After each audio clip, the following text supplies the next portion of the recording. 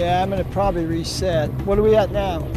Um, 42. We're just on. We're just dropping off.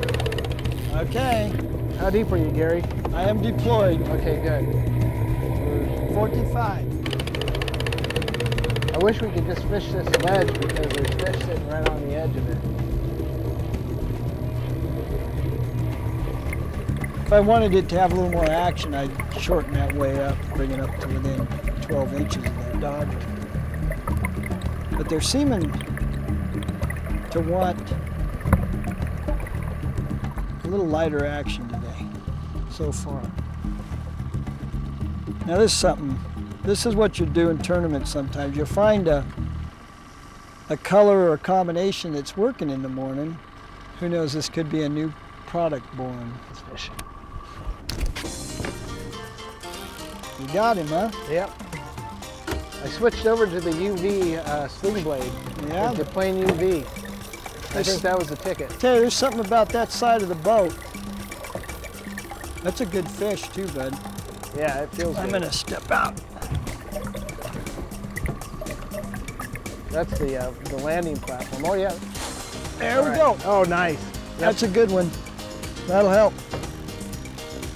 That's the kind of stuff you want right there, buddy. Oh, that's yep. Another good fish. Plain UV. Kokanee, the stars of this video, truly do glitter.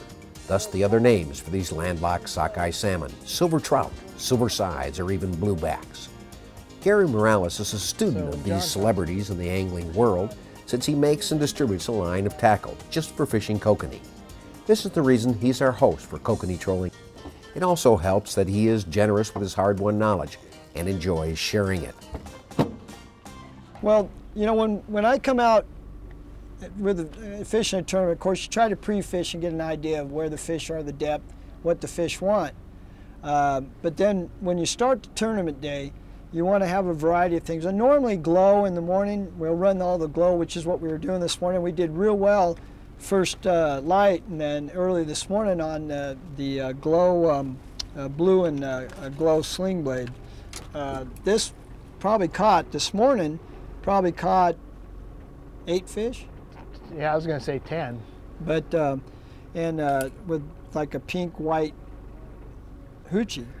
Um, once sun came up, uh, about half hour after sun came up, then we've switched to UV and a bunch of other stuff. And um, but when we start off in the morning, like I said, we'll use a little bit of everything. We'll run some hoochies, some coconuts, some spoons. I had a crippler on, um, and we had spinners. I mean, we did a little bit of everything, and then we found that they were hitting uh, one style hoochie pretty well. So then we kind of used switched over to that, and then when that shut down, then we went to others. But the, you know, the the whole process is trying to find out what product they want, what colors they want, of course your depths, and you put it all together and figure it out. It's like a puzzle. Figure it out, put it together. You you're going to catch some nice fish, and that's how you win these things.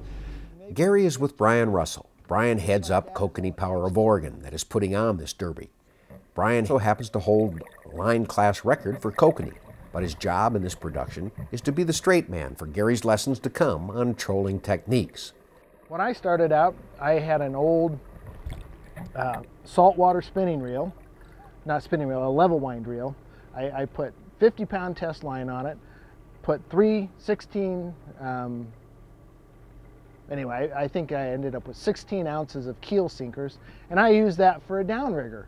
And it worked, and I was able to catch fish doing that. And then as I slowly was able to acquire. I got a small manual, I got a, one nice rod, one level wind reel, and I started with a few sling blades and a few spinners, and I could catch fish. They are entered in this Kokanee Power Tournament, just one of several the club puts on each year. With Brian's duties as ramrod of this event and Gary's as sponsor, they have little time to get as serious about competing as they really would like to. I got one too, bud. Mine just pulled release. Ooh. That's going That down. looks like a Mackinaw. oh no, it isn't. It's just a big Coke. Whoa! That's that new That- rod of yours. Look at this. Oh, that's a big fish. Dude, that thing, that that's the hardest hit I've had since we've been out. I told you that lure was going to work. Should I put it Oh on? my Did you lose it? Ow! That was a big fish, Gary. One of the things about kokanee, they have very soft mouths. And no matter how soft a rod you have, and we have as light action rod as you can get. And uh, my drag set fairly loose. I would, It's I would uh, tie another hook on that thing. What lies ahead are great lessons on trolling for kokanee from Gary Miralles and friends. You've already met Brian Russell, head of Kokanee Power of Oregon. When we are on Wikiup Reservoir, John Klein is our skipper. John is an avid and exceptional kokanee angler who spends the kind of time in the water the rest of us only dream about. We also take a quick visit to Yale Reservoir in Washington for a lesson on straight line trolling from another John, this time John Hoyland. Hoyland has the discountoutdoorstore.com website and also makes a variety of salmon and steelhead angling products. He will show us some good tactics if you're just getting started trolling for kokanee. Now, what we have done here, we've got two downriggers, two fishermen, two rod stamps. We're actually able to fish up to eight lures. If we have Enjoy the boat ride and get started honing your skills and gear for your next kokanee adventure. That way I can always leave the bottom ones down. We don't have to mess with them all the time. Right there, we just caught a fish.